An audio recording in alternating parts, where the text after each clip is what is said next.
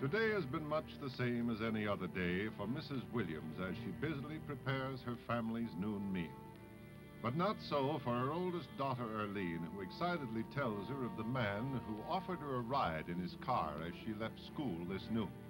But Mrs. Williams is not impressed, not even with the license number so carefully written on Earline's school paper.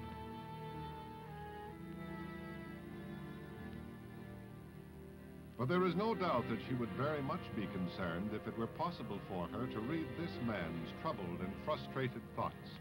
He is troubled by an urging inside that even he does not understand. Deep in his subconscious mind, he knows that he is wrong, but his rationalizations keep him from fighting his abnormal behavior. This man is a child molester. He is a dangerous, calculating criminal that knows no bounds in obtaining fulfillment of his desires. He is ill, mentally ill, and sensitive, with a wild, running imagination that will set him off at a moment's notice.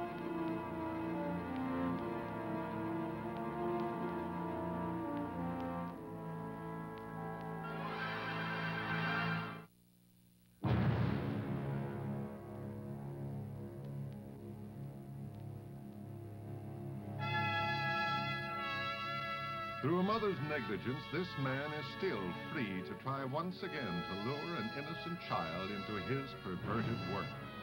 To the molester, there is no such thing as failure. Earline's good judgment in his previous attempt was only a momentary setback. His abnormal urge deepened to the point of inner explosion.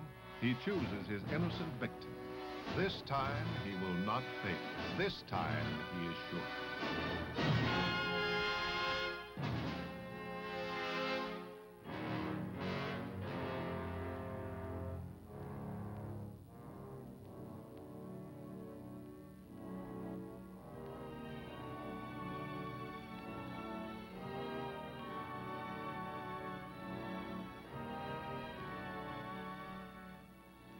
But as he achieves success and his excitement mounts, he is unaware of two small eyes following his every move.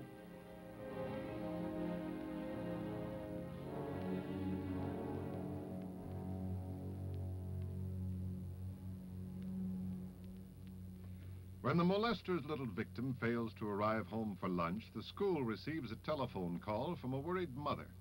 The school secretary reassures the child's mother as best she can, but carefully writes down all of the information available that is relative to the incident.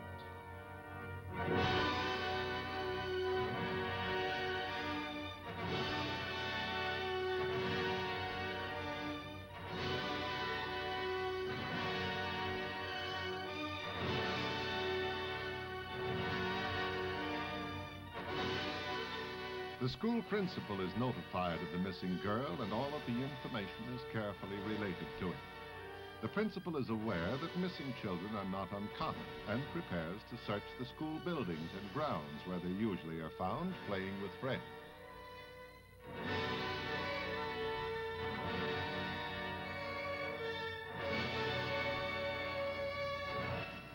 The child's teacher is contacted and questioned and it is found that the little girl has not been seen since classes were dismissed for the lunch period. The teacher further substantiates the fact that the little girl always goes home for her lunch. A search of the buildings and grounds proves fruitless.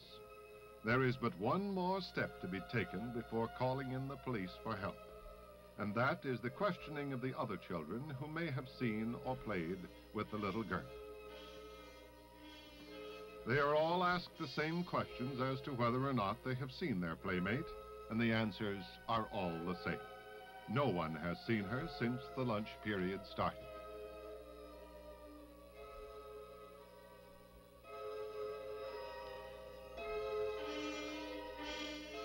No one, that is, except one small, inquisitive boy who even now is not aware of what he has seen. Upon his arrival at the playground, he too is questioned by the teacher regarding the little girl's disappearance. But this time there is a different answer. And after hearing his story, there is no doubt left as to what action has to be taken and quickly.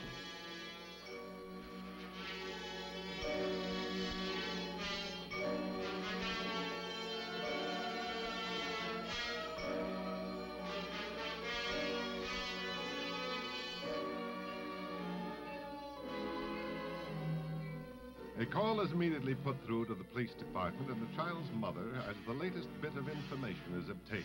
And in a few moments, the police officer assigned to duty in the area arrives.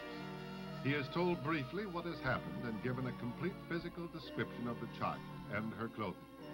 The officer carefully writes down each bit of information in preparation of relaying the details to police headquarters in order that a radio broadcast may be transmitted to all police units and an immediate search may be launched.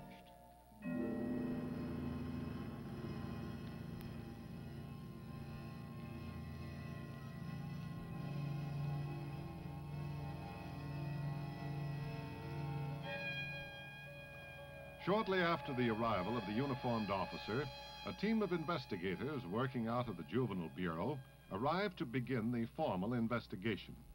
The policewoman and detective assigned to the case begin by gathering every bit of information available in an attempt to work out a logical plan of action.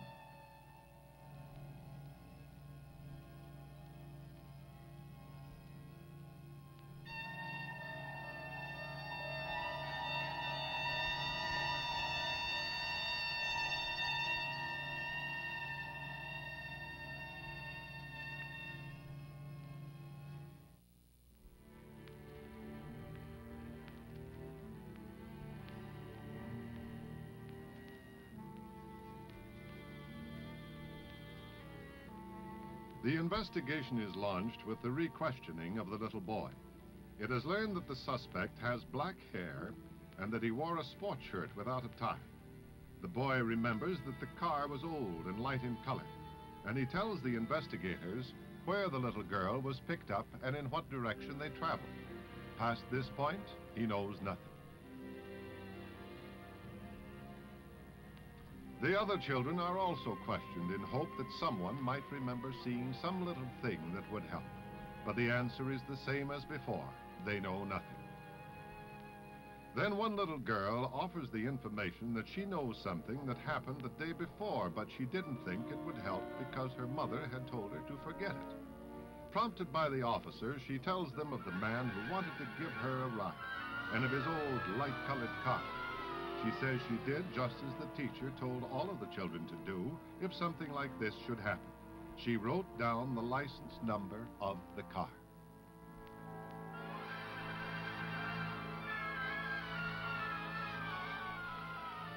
In the meantime, all available police units are conducting a citywide search for the little girl and her abductor.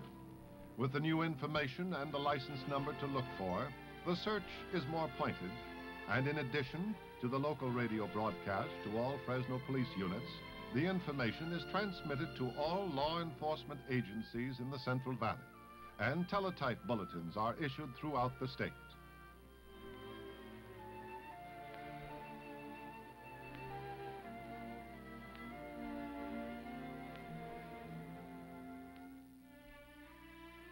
With the investigation underway, the detectives return to police headquarters where they anxiously await a return radio call from the Department of Motor Vehicles in Sacramento regarding the name of the person to whom the license number is registered.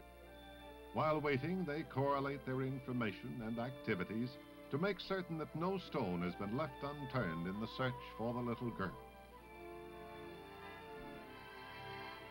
Before word is received from Sacramento, they are notified by telephone that a patrol car has found the vehicle and the suspect is in custody. They are told the little girl is safe and unharmed and is being taken home to her mother.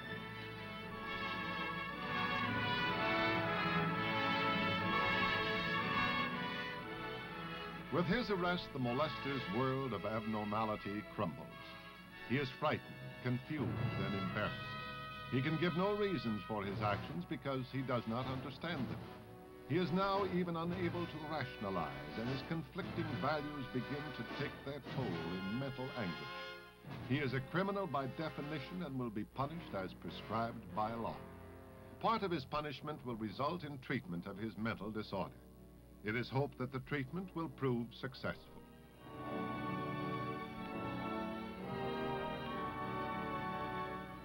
Problem does not end with the solving of this or any number of other cases.